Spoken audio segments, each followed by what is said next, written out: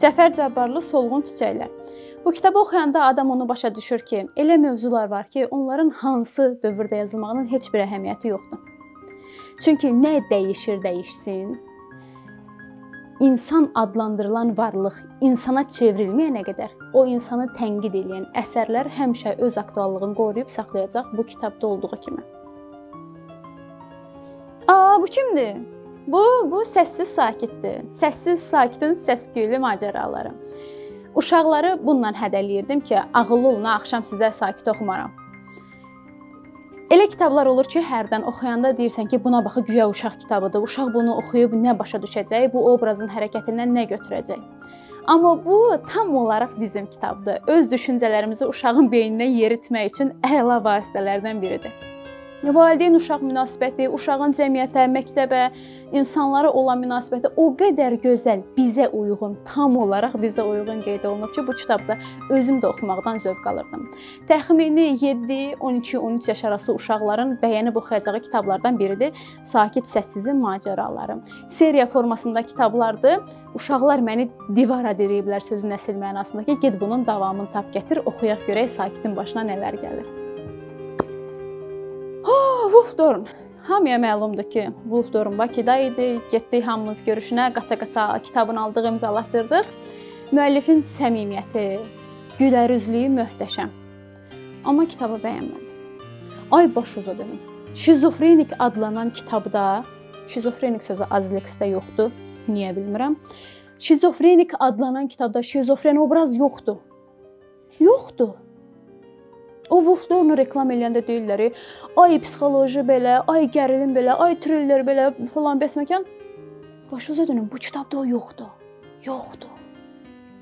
Ona görə də ümidim 21 yoldaşdır, yoxsa 21 qardaşdır. Ay 21 çölcə yoldaş. Ümidim ona da o kitabı imzalatdırmışam. İnşallah o qəşəng alınacaq. Ah, və Bernard Schilling qiraətçi. Bu kitab Bu kitab mənim həyata, hadisələrə baxışımın necə dəyişdiyini göstərən kitabdır. Mən bu kitabı təxminən 2 il əvvəl oxumuşam və oxuyanda onda demişdim ki, bu kitabdan zövq almaq mümkün deyil. Amma təzədən ikinci dəfə oxuyanda tamam ayrı hisslər yaşadım. Sən demə mən üzdə olana o qədər fokuslanmışam ki, kitabın əslində demək istədiyini heç görməmişəm. Heç ona yaxın da durmamışam.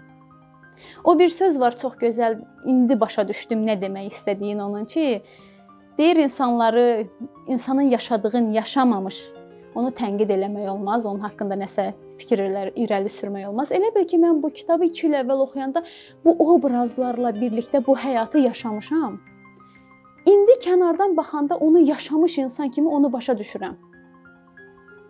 Çox qəribə hisslər idi. Bir tərəfdən özümün özümə acığım tutur, bir tərəfdən sevinirəm. Sevinirəm çünki bu kitabı mən qazandım. Acığım tutur ki, görəsən mənim belə baxıb, belə görüb kənara qoyduğum neçə kitab var. Bu obrazların bir-bir yerinə qoydum özümü. Hannanın, qiraətçi oğlanın o dövrdə valideynlərin günahkar hesab edən uşaqların o nəslin yerinə qoydum özümü nə qədər ağır hisslərdir, nə qədər böyük yükdür.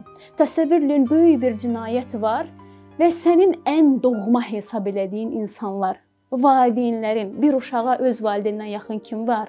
Valideynlərin bu cinayətin hansısa bir hissəsindədir və sən bu reallıqla yaşamalısan.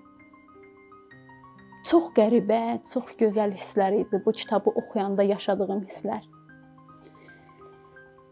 Belə Qısa oldu, amma məncə demək istədiklərimin hamısını deyə bildim.